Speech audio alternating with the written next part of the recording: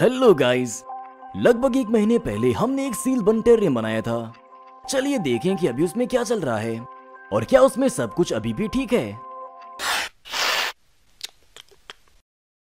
Terrarium को seal करने के कुछ घंटों बाद, उसके अंदर के माहौल ने अपना काम करना शुरू कर दिया। इसमें नमी भाप बनकर उड़ रही है और कांच की दीवारों पर जम रही है। धीरे धीरे भाप पानी बनकर नीचे की ओर बह रही है और ये मिट्टी में मिलकर पौधों के काम में आ जाएगी। ये सब कुछ हमारी बारिश की तरह ही हो रहा है। कुछ पौधे मर जाते हैं और सड़ने से कार्बन डाइऑक्साइड छोड़ते हैं, जबकि बाकी बढ़ते हैं और इसका इस्तेमाल करते हैं। इन मरे हुए पौधों से पोषक तत्व मिलते हैं, जो खाद की तरह काम करते हैं।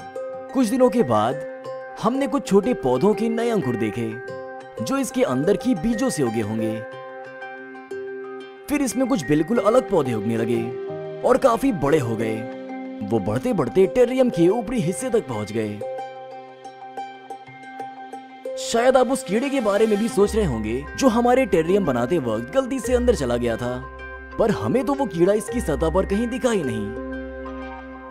लेकिन एक बार हमने ये देखा, ये सफ़ेद जीव एक छोटे कीड़े जैसा है।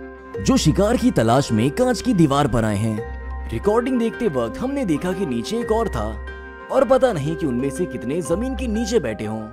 हो सकता है कि ये छोटे कीड़े उन बड़े कीड़ों की वजह से बने हों। आपको क्या लगता है? वैसे हम अपने टेरियम को फलते फूलते देखते रहेंगे, और अगर कुछ दिलचस्प बात होगी तो आपको ज़रूर बताएँगे।